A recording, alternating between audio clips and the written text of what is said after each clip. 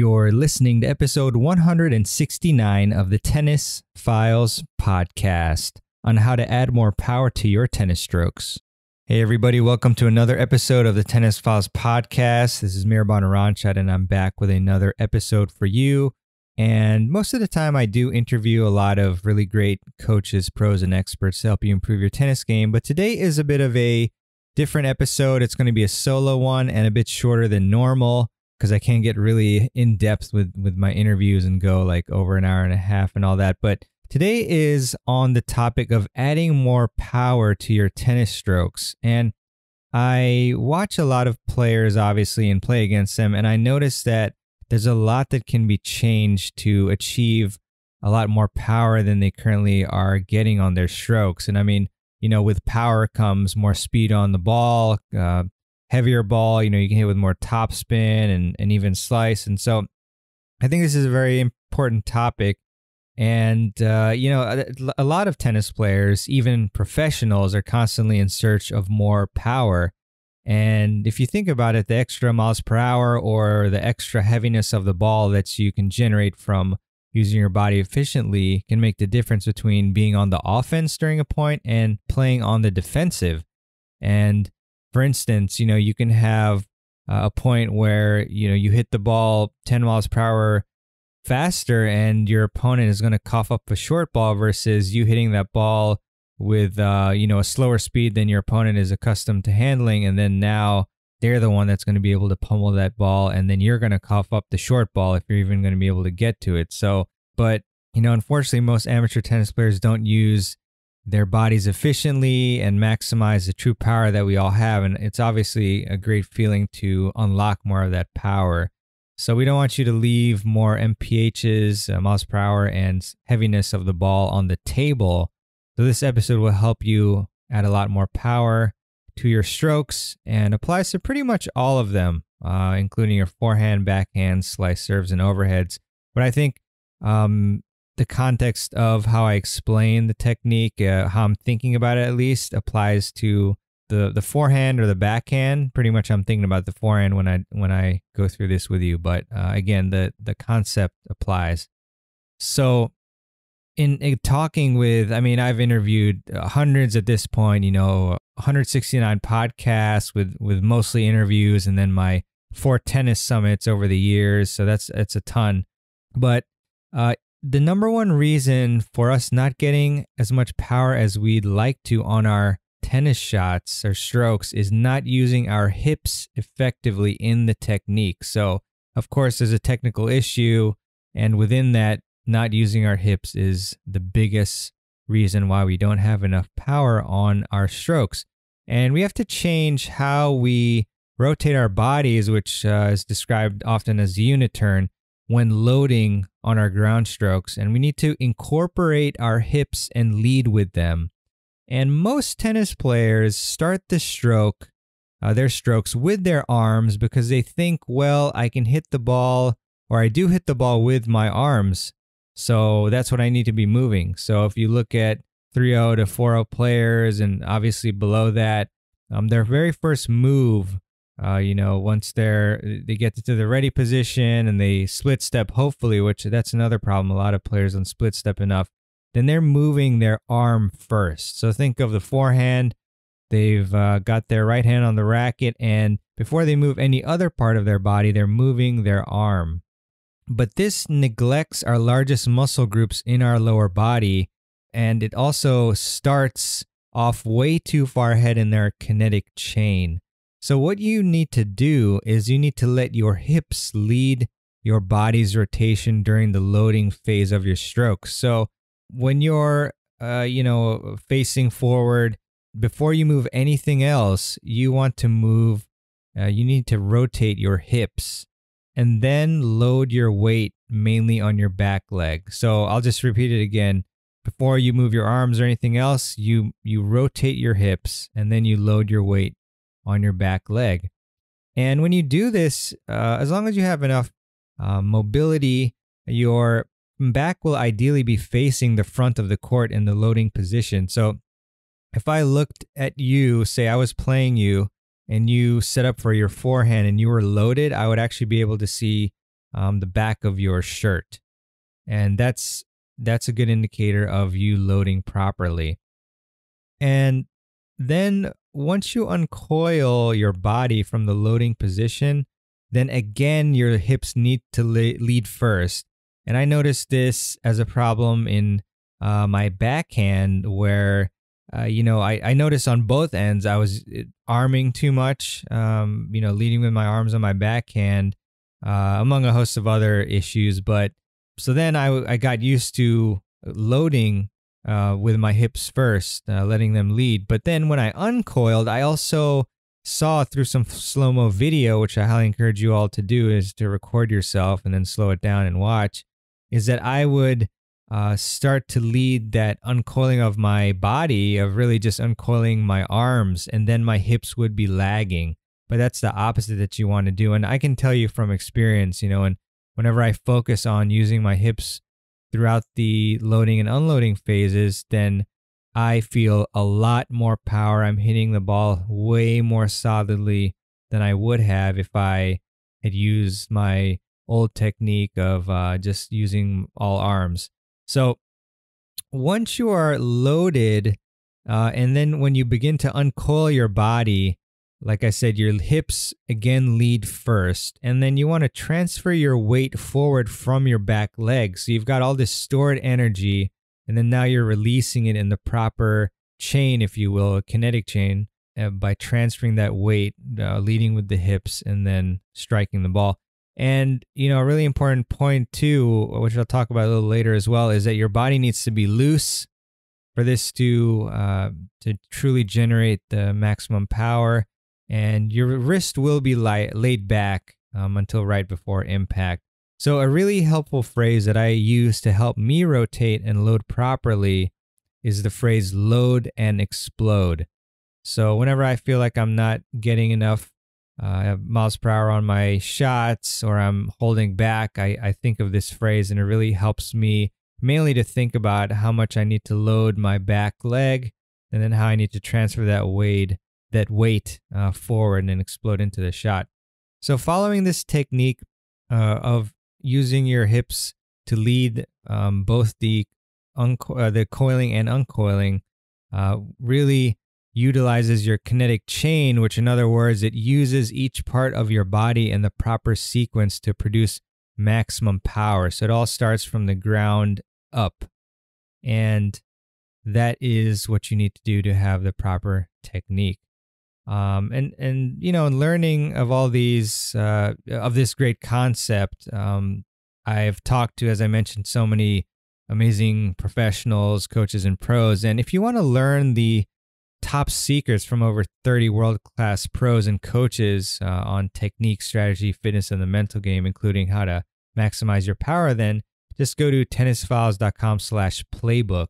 Uh, that's tennisfiles.com slash playbook, and you'll learn the top secrets from experts like James Blake, Paul Annacone, Nick Bollettieri, Michael Russell, Taylor Dent, Rick Macci, Dr. Mark Kovacs, and, and a ton more. So, and you can also check out that awesome resource in the show notes page. But now that we have this technique in play, which I just described, which you know, obviously, feel free to hit the rewind button and uh, and listen to it a few more times. Then we still want to examine uh, these these power leak mistakes. I like to call them. Um, you know, they're leaks where if you fix them, then you will gain more power. Obviously, so and I believe these are five of my top power leak mistakes. And the first one is not getting in position with proper footwork and being balanced. So that's kind of almost two, but you really need to have your feet in position and you need your body to be balanced. Otherwise, you're not going to be able to use your body efficiently and load maximally. Um, so think of, you know, if you're out of position and you've got to lean forward to lunge at a ball or you're leaning backwards or you're leaning to one side, then you're obviously not going to be able to load your body properly as we just described. And also, you can't be too close or too far away from the ball. Your spacing has to be the right distance from the ball. So I notice that when I'm jammed or when I have to really reach very far out. Um, but I think even more so when I'm jammed, I, I just cannot produce the same amount of power that I would if I had the proper spacing. And speaking of footwork, when I'm not playing well, or if I start to feel nervous and I increase my footwork intensity as much as I can, I can think back to several matches, many matches where I've had, for whatever reason, the nerves creep in. And so I just try to move my feet as fast as I can. And that really helps me hit better shots and obviously more powerful ones and more accurate ones as well. So it's really important to to improve your footwork and to get in position and to be balanced and really again kind of examine how how that's going for you because I, I have found you know in many instances where you know I, I review the video and I I see that I'm leaning back a lot and I'm just not in the right position and that is very preventative of you getting enough power. So that's a big power leak is not getting in position with the proper footwork and being balanced.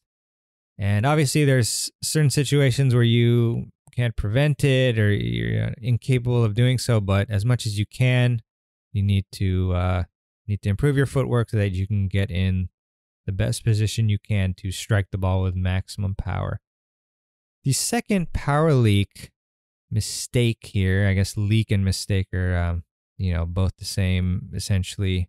But um, I digress. The second one is that you're not mobile or flexible enough to rotate your hips enough to load. And I think it is a mistake. I think some people may argue that, you know, this is just how it is, but I think that all of us can, you know, seek some sort of solution. Uh, and I used to have issues with my hip mobility and we can't just chalk this up to old age or whatnot. And what I did is I fixed it or I improved it a lot through stretching, foam rolling, yoga, and Theragun as well, which I think is renamed Therabody, but it's basically a tool to provide myofascial release, um, which you can check out at tennisfiles.com slash Theragun. Um, but that device uh, is is really great. It really helps um you know you restore a good amount of mobility and blood flow. But uh, you know, doing all these things, I mean, especially stretching. I stretch just about every single day. And relatedly, I always perform a dynamic warm up before I play, which primes my body to function optimally on the court. So I didn't, I, I used to not do any of this, which is really not good. And I, I felt the repercussions. You know, I didn't, uh, you know, I lifted weights without doing any stretching. I hit and then not stretch afterward. I didn't perform a dynamic warm up before my matches. And, you know, uh, I would feel tight for many days. And I got very tight to the point where uh, eventually it was very painful to move around the court and, you know, even move in everyday life. Uh, and it hurt my game for sure because I just wasn't able to get into the proper position and I didn't wasn't able to move laterally well enough and I wasn't able to to load properly on my shots, especially my backhand, because uh, it was actually my left hip that was the bigger issue. And so you really need to dedicate a significant amount of time in your training to stretching and mobility and these uh, these sorts of things that help you recover uh, yeah, I remember one time where after USTA League match in JTCC, I I parked, um, you know, in the garage of of my apartment at the time, and uh, I I got out of the car and I I was pretty much limping after the match. I could barely move, and uh, you know that was a big sign that you know what I need to dedicate more time to to my stretching and mobility. And I remember trying to remember if it was Mike Boyle uh, it might have been Mike Boyle, who I interviewed on the podcast, which I'll have a link in the show notes and you know below this episode where you're listening, most likely. But uh, I think he said that after age 30 or so, you you need to add one percent to your age. Or sorry, that your age is basically the percentage of time you need to dedicate to mobility training. So that's really I I found that that's really helpful and um, you know, it feels so much better to be able to move around more freely than just being restricted and tight. So I know that I spent a good amount of time on on this one, but um, not being mobile or flexible enough to rotate your hips enough to load properly and to even get to the proper position is a really big power leak. And it's, uh, you know, it doesn't go away in a day. Uh, unless you have some magical chiropractor, I guess you you just or PT person, but you need to just dedicate, you know, even like 10 minutes a day to stretching. Uh, I have uh, at least one full, you know, one of my days. I work out every single day in the morning, and my Sunday mornings are dedicated to a full stretch routine. And then I also like to stretch most evenings. It's kind of a nice cool down uh, before I sleep and to try to get away from these dang uh, electronic screens that are just providing you with a lot of dopamine hits and, and getting you addicted to staying on there for, for a long time. So uh, that's a big one. But now we'll transition to, well, actually, before we transition, I do have a free stretching workout plan as well. So uh, very similar to the one I just mentioned that I do uh, in the evenings. And you can check that out at tennisfiles.com slash stretch. That's a free stretch routine. And I also have a, a stretching routine YouTube video at tennisfiles.com slash YouTube. But now Power Leak mistake number three is you're not hitting through the ball. So if, you know, some players that have an excessive low to high swing path or they hit with an excessive amount of topspin. And naturally, this will decrease the speed on the ball. Uh, it certainly is okay to hit with heavy topspin. A lot of great players do that. Uh, I myself, you know, one of the things I'm no, I'm known for is uh, a very heavy topspin forehand. So uh, I, you know, it's just kind of a warning that if you are swinging excessively um, low to high, then you're not going to have that that power and, you know, that's something that I think, you know, you may not realize that you're doing, that you can change to, you know, hit uh, out more on the ball. And one really good way to improve this uh, and to make yourself hit through the ball is to actually pretend that you have to hit through three balls. And I believe I got this tip from Coach Faisal Hassan. Um, and and yeah, so you know when the ball is coming at you, you pretend that you've got to hit three of them, and that will make you hit through the ball uh, more. Yeah, more. Uh, um, so that's a really good one there. So you've got to hit through the ball in order to get that that uh, speed and power on there. Um, power leak mistake number four is you're not watching the ball before contact. And I found that this was a problem with myself as well. At one point, I was shanking quite a few balls especially with uh, me hitting a lot of topspin, you know, you you are at a high, little bit of a higher chance of of uh, framing the ball, and so or you won't be able to hit it uh, solidly on contact. Yeah, so you basically have to really keep your focus on that ball as long as you can um, when it's coming at you. Otherwise, you you know you'll have this shankathon issue, or you uh, you might pull off too quickly, and that obviously hurts your ability to, hit the ball. It, uh, you know, again, in, in self analyzing my game, I found that on my backhand, I just, for whatever reason, also was not watching the ball as long as on my forehand. And when I did concentrate on watching the ball and I integrated the uh, the concept of letting the hips lead, as I talked about a few minutes ago, and also uh, making sure to have a full follow through on my backhand. These things have all really helped my shots, uh, my backhand in particular, quite a bit. Uh, if you have this problem like I did, then you you you want to remind yourself to lock in your eyes and your focus on the ball as long as you can. Uh, this is also big for the serve as well. Uh, all your strokes for sure. A power leak number five is that your body and your arms in particular are too tight and you just simply will not be able to get maximum acceleration and whip your arm uh, if you're too tight. So if you have this problem, I recommend that you take a deep, uh, a few deep breaths to relax your body. And also another cool thing to do is to kind of just uh, change around your grip, your grip tightness to let's say you have 10 levels and you grip it really tight, um, you know, maximally tight as a 10 and then like super loose as a 1 and then kind of find that range so that you kind of know uh, the feeling of, of of the highs and lows, the top and bottom of the range, and then you can adjust to uh, to to make it a little bit looser, and you're more aware of where you are in your range. But yeah, it's it's really important. And uh, when I was hitting on the ball machine the other day, I noticed that on my forehand, I my body is super loose, and you know I can get a lot of power on it. And on my backhand, it's not quite as powerful. And one of those other things that you know that I had an issue with on the backhand is that my arms were just simply too tight. So by loosening my arms and focusing on on just you know using my entire kinetic chain, I I got a lot more effortless power. So making sure that your body is not too tight and, and just trying to relax it a bit will help a lot with producing more power on your strokes.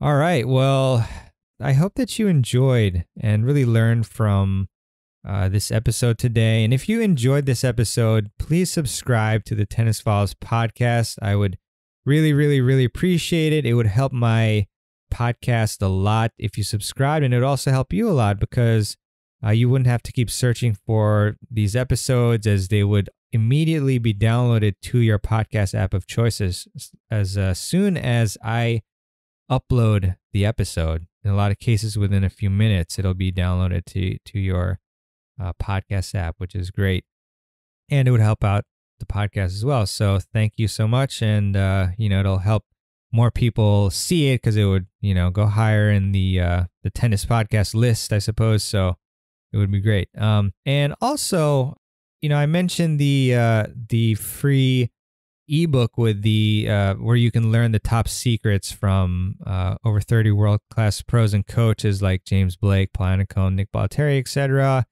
Uh, if you go to tennisfiles.com slash playbook. And another related uh, event, it just depends when you're listening to this. But if you're listening to this on the week of October 19th, um, so especially, I guess this would be published on the 21st of October then you can check out Tennis Con 4, which is hosted by my very good friend Peter Freeman from Crunch Time Coaching. And this event uh, is, is all week and it features a lot of amazing, uh, pro, uh, amazing coaches, I think over 40 of them. And you can actually get a free pass to watch uh, all of the sessions for free, at least the ones that haven't been up for more than 48 hours yet. Um, at you can go to tennis uh, tennisfiles.com slash tenniscon4. That's um, T-E-N-N-I-S-F-I-L-E-S dot com slash T-E-N-N-I-S-C-O-N 4. And if you want lifetime access to TennisCon 4 or, you know, if you want to listen or if you want to watch all of the amazing sessions, you know, well past the actual week of the event, then you can go to tennisfiles.com slash tenniscon4AAP. So it's the same link as the previous one with just AAP.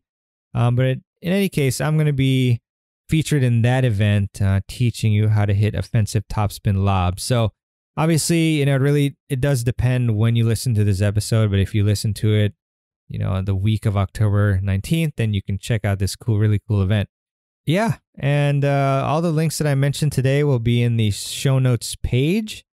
And uh, I also just want to leave you with a quote, as I often love to do at the end of the show. And this is a cool one by Pablo Picasso, the great artist. And Pablo said, Everything you can imagine is real. Pretty cool one. Alrighty then. Well, that is all for this episode, and I hope that you are able to safely play tennis. And I've been really enjoying playing tennis on my slinger bag, uh, which you can check out at tennisfiles.com slash slinger bag. And uh, yeah, it's a great portable ball machine, and I'm able to practice my ground strokes and obviously hit some nice serves. well, I try my best to hit nice serves, and uh, really makes me happy to be able to be able to play tennis and hit some balls again. So, all right. Thank you so much for listening. Have a great day. Have a great week, a month, a great year, all that. And thanks for listening and keep improving your tennis game. Keep improving yourself at least 1% every single day, and you're going to see huge dividends. Thanks so much for listening, and we'll see you on the next episode of the Tennis Files podcast. This is Mehrban signing out. Take care.